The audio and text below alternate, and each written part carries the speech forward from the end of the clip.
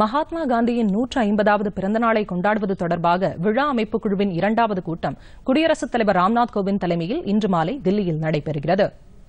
Portugal பிரதமர் Antonio கோஸ்டாவும் இந்த கூட்டத்தில் கலந்து கொள்கிறார்.